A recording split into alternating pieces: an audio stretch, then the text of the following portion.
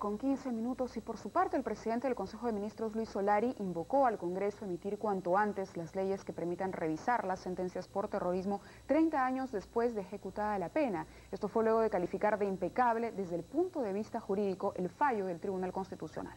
Eh, estas modificaciones a la ley antiterrorista, ¿cómo va a ser, va a presentar el Ejecutivo, señor Bueno, es un tema absolutamente normativo, por tanto el propio tribunal ha pedido que sea el Congreso de la República el que haga las adecuaciones necesarias a la legislación de tal forma que no quede ningún vacío a ser utilizado por ningún eh, encausado por los delitos de terrorismo. ¿Concuerda el Ejecutivo eh, plenamente con el fallo del Tribunal Constitucional? Ya lo mencionó el Ministro de Justicia, que es el portavoz en esa materia.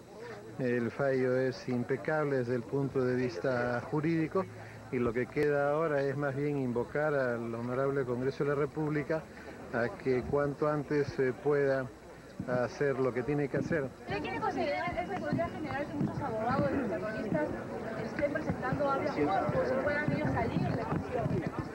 hay una serie, está claro en el, está absolutamente claro en, eh, en la sentencia, como lo ha dicho una y otra vez el presidente del tribunal, que esto no facilitará liberación de terroristas. ¿Se preocupa al Ejecutivo que se vayan a producir nuevos juicios a los terroristas, incluso a los cabecillas de estas organizaciones? Mire, cumplir las normas internacionales y las sentencias del Tribunal Constitucional no le puede preocupar a ningún peruano, sino al contrario.